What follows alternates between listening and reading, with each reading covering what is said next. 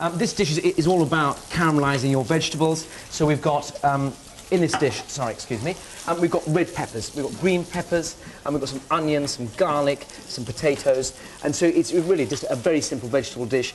And you know, the, the selling point, I suppose, if you like, is they're all caramelising, so lots of sweet, uh, lovely flavours. Um, so in here, I've got the potatoes and onions and I'm going to cook this for about a further 15 minutes. Um, but in fact, I've got some potatoes at a slightly further stage to that. so here, here what I, have got some potatoes. Right. I've got the onions. Yep. And I'm just going to add the red peppers. Right. Like that onto the tray. And I add the green peppers, the garlic. This is a very sort of simple Spanish peasanty sort of dish. Um, you know, classic Spanish ingredients: peppers, garlic, potatoes. Um, I'm also going to add some salt. So I've got my potatoes, my onions, um, red and green peppers, some garlic, a little bit of salt and pepper. If you, if you think it looks dry and needs a drizzle more olive oil, by all means just give it another quick drizzle. Where does this dish originate from? You know? I think it's from the south of Spain. I think, but um, Andalusia. yeah, I, I'm Really? sure it is. Yeah. Okay. So back in the oven. And in the meantime, um, we're going to make the salad. So this is a very, very easy salad, and um, in fact, you can help. What, what we're going to do is um, have some chicory, um, which you are going to just well, I'll chop the end off, and you're going to break up literally into the bowl. So Okay. it, this is this is very simple. It's not too Um, scary. no. Next, um, a handful of walnuts. Um, and Eddie, I think that that fish is about ready to turn over now. Is this, is this all going too fast? And it's quite, they're I quite think I'm getting there. rapid, aren't they? You've taken all this in. I mean, it's pretty. I mean, the, We'll, the we'll key to the provide you with the written recipe afterwards, so we can jog your memory. in- in- Come and in- do it for me. anyway, so that's very nice. Let's put one more um, head of chicory.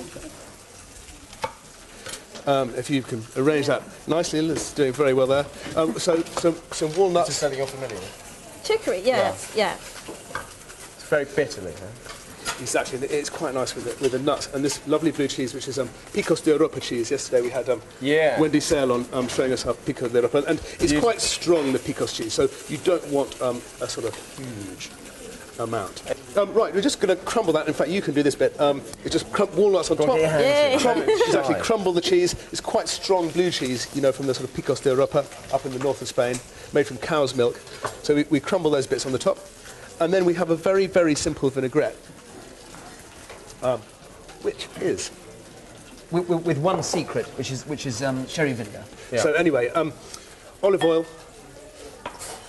sherry vinegar, squeeze of lemon juice just to sort of lift it a little bit. Not And very what, much. what do you got? Three, three oil to one vinegar, roughly. Yeah, about that. Do- Actually, with this one, we, we make a reasonably acidic, uh, a reasonably vinegary Right. vinaigrette, just because the chicory and, and the cheese need something, you know, slightly more acid than, than, than Yeah. you might have might have normally. Pass me the pass. I presume if you couldn't get hold of this cheese, you could use a, good Roquefort or a good, good British.